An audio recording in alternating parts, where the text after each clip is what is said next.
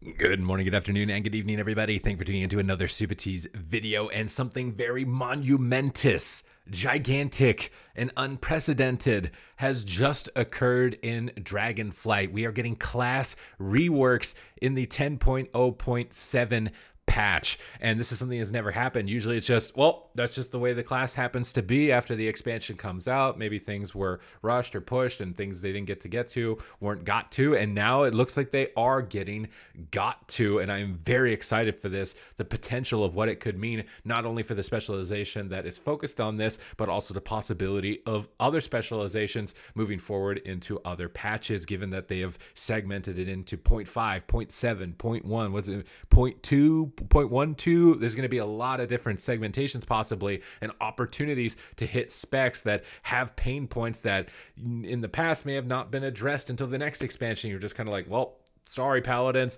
Uh, it's just gonna be that way for you. So in this class rework we're gonna be covering all of the incoming changes coming for retribution paladin their implications and some thoughts on what other specializations could possibly need a tune up like this because if they can you know nail this one, then there's huge possibilities for other specializations in the future. If you want to stay up to date with changes related to the game, update with patch notes, meta, entertaining videos, then make sure to hit the subscribe button. Your support is greatly appreciated, and we are literally as close as we could possibly be to 50,000 subscribers in my long-term goal of 100,000 subscribers. I'd really like that plaque to put up on the wall. I uh, hope you guys appreciate the posters that I've actually decided to put up, so it's no longer looking like I'm in the corner of a closet. Uh, we'd love to put up a 100k YouTube subscriber plaque there as well in the future to get there. So, all thanks to your support. Thank you very much. As I aim to continue to be a great resource for that for that fact. Blizzard, well met. We are doing a substantial rework to the Retribution talent tree in patch 10.0.7, rebuilding the Ret Paladin tree from the ground up. So this is complete, just like rip out the floor, complete rework, not just like a little retuning and a fine adjustment of this, and you're still getting the same pain problems, completely ripping it all out. However, the talent tree itself will not be available in our first PTR builds, so initial testing of the PTR will be missing important context. Nonetheless, we'd like to share our major goals for Retribution with you. Button bloat. Retribution Paladins currently have a fairly large number of abilities, and some of these feel unnecessary and inefficient. We are working to tone this down and have a more focused set of abilities and cooldowns. So I'm really curious what they're aiming at here, particularly because Ret Paladin doesn't stand out to me as like one of the most bloated classes um, in terms of keybinds, and it does make me a bit worried about what this means. Does this mean they're going to remove Seraphim, and you know there's a keybind you don't need to worry about, but then make your damage higher in other and basically across the rest of the game, so that it's not only this specific window of time? Because right now, with the way the game is for Ret Paladins, it's you're either just smacking somebody and they're down for the count in one attack, or you're running around doing a whole lot of nothing on Ret Paladin. So going in there and removing some of those cooldowns that stack together that hit that excessive burst point does mean that they can be more free to give you higher damage output outside of those windows, which I think is what almost all the classes, at least in PvP, uh, would desire to have. And again, this is a change for the game as a whole, not even just PvP. So this this might have implications uh, in PvE as well, uh, where you know maybe you're ramping up too long or something along those lines. And I'm, I'm not going to really focus too much on the PvE side of it. Definitely going to be more focused on the PvP, but do take that into consideration. Stacking modifiers. This leads into the next thing that I was just talking about. There are currently several several talents and abilities that provide stacking bonuses, which can make for a confusing and messy playstyle that deals extreme burst damage, but in return leaves your core abilities feeling unsatisfied and undertuned. We intend to sig- significantly change this. We want your core abilities to feel good and powerful when used in all situations. This is literally like the holy grail of blue post paragraphs as a PvP player I have ever wanted to read in my entire life. Like for like the last like I don't know how many expansions.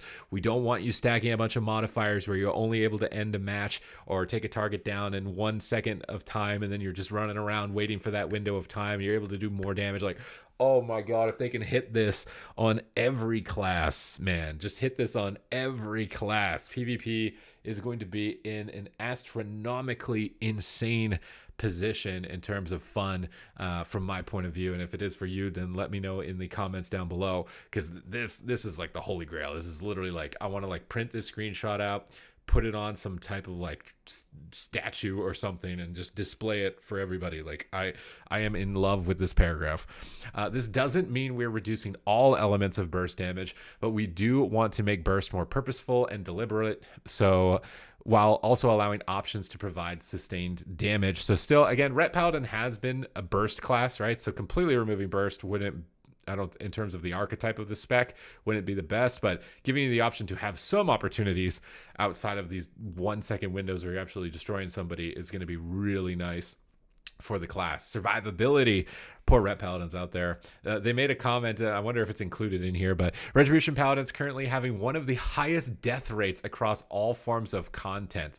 I'm gonna be I'm gonna be uh, I'm gonna be a little bit real with you, Ret Paladins. You're gonna get roasted a little bit here. You were the class to get auto bubble, okay? And I think it was for this reason. I think that they saw you guys not bubbling and dying too much, and they're like yo, we gotta do something about the metrics here. These these paladins ain't they ain't bubbling. They're just dying all over the place. We gotta up these numbers, man. There's too many deaths in the paladin. Let's give them auto bubble because I think that you know maybe this isn't necessarily just a class thing. Now I know it is pretty easy to kill ret paladin, especially coming from a boomkin perspective. You guys are definitely struggling on the defensive uh, capacities here, but some some of y'all not pressing the bubble too. So uh, let's be real there for a second. But this is looking promising for you so far. Uh, for a plate wearing class with hybrid healing, this doesn't feel right. We're looking to strengthen them through a mixture of passive bonus and improvements to active abilities and cooldowns while keeping the degree of challenge that results from being a melee based spec. And the challenge is deciding when to run, when to go in.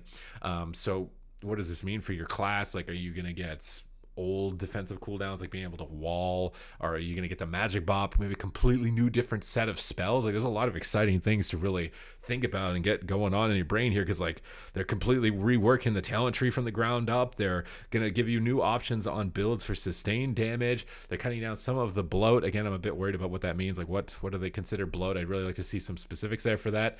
Um, but then focus on bringing your defensive capacities up so you're not, it's not always you get in the solo shuffle and go ret is the first thing you see whenever the Rets on the other team. Um, so definitely looking very promising in regards to that. For maneuverability, and this is like the main pain point. Honestly, they only gave you two lines for it because I know a lot of y'all are, are, rolling around trying to trying to get to your target on your retribution paladin. I know a lot of ret paladins aren't a big fan of the steed. They really like the emancipate, being able to remove your own snares um, and dispel them frequently. So very curious to see what direction they go. Let's see what they've got to say though. We recognize that there's an issue here and we hope to make some improvements. However, we want to set clear expectations. Ret paladins should not expect to gain mobility of rogues. Okay, maybe this is the only disappointing part for you guys because that was that was that was short and to the point. That was like, yeah, we know that you've got issues uh, moving, but you ain't gonna be rogues. And if you ain't gonna be rogues, where does that where does the line put you between right? Because it's kind of like ret and then rogue. So like, are you gonna be what are you gonna be a warrior? Are you gonna like somewhere in the middle? Like where where where where are we putting you guys um, in terms of mobility? What direction? Like, do they completely scrap the steed idea, bring back emancipate? do some other interesting things, um, maybe with Blessing of Freedom along those lines would be really interesting. Um, I- am excited to see uh, what they do, but this does seem to be like you're gonna still maybe have a problem with mobility, and they kind of want you to stay in that stay in that lane.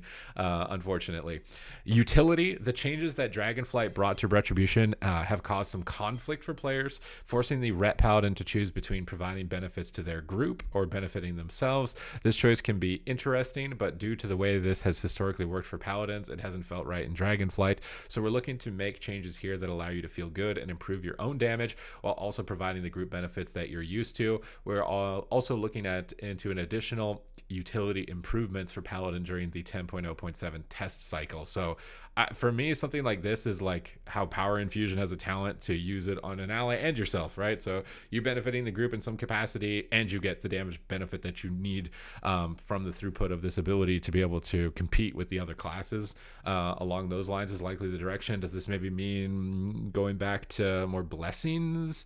Because that used to be kind of the core, you know, blessing of might, blessing of kings, that type of deal. But they also talked about wanting to remove button button bloat. So there's a little bit of conflicting ideas um, within the post as a whole. I'm still kind of like with the Holy Grail paragraph right here, but in terms of button bloat and mobility and utility, not a lot is made clear with this other than the fact that they are doing something that is unprecedented which is reworking a class like after the launch point of the expansion in this area of time where normally it would be like radio silence for a lot of the classes that maybe ended up not in the best position.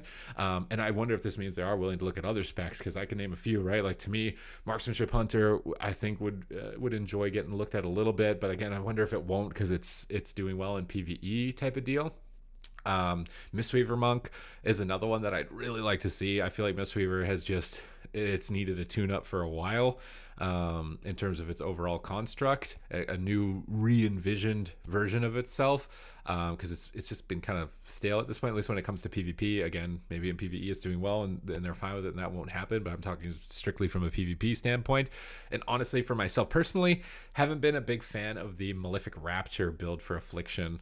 Um, I feel like it's homogenized it into a builder spender rotation like every other class, and I much preferred Affliction being more about debuff uptime and buff uptime, things like Soulburn Haunt, and maintaining as much damage output as possible at all times. I really liked that archetype, but that was my favorite version of Warlock um, in previous expansions, like the Warlords of Draenor version of it with Soulburn Haunt, for example. So I, I really like Affliction, honestly, um, to get a tune-up similar to this. Um, but will those will those come to fruition? I'm not sure. Um, do we need to stir up and make as much commotion as possible for those types of things to happen as uh, as Ret Paladins have done at this point maybe that's what needs to happen. I don't know. Um, obviously, don't go flaming people or getting aggressive with people um, in that regard. But I definitely think bringing up criticism and feedback towards the classes seems to be like a good thing to do and a good time to do it, given how much retuning we've been actively getting, rebalancing, and now reworking um, of things that were just completely from the ground up. So I'm very excited. I hope you guys are. Let me know in the comments down below your thoughts on this update, what it means for you. Uh, does it mean you're going to check out a Ret Paladin? Um, I, I, feel like you're going to want to get on that PTR as soon as these things are available because this was left pretty open ended in terms of uh, what what they're going to possibly do with it. So I'm I'm very excited to see it. Again, just unprecedented. But thank you very much for watching. I hope you enjoyed the video, and I will catch you in the next one.